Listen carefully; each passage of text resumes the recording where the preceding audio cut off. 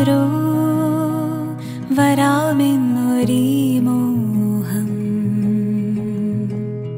വാതിൽക്കൽ മിനി സ്ക്രീനിൽ ആദ്യമായി തീവ്ര മനുഷ്യബന്ധങ്ങളുടെ കഥ പറയുന്ന വികാരസാന്ദ്രമായ കഥാഗതി. Box office hit Prithviraj Nazriya Parvathy ചിത്രം. കൂടെ വിഷുദിനത്തിൽ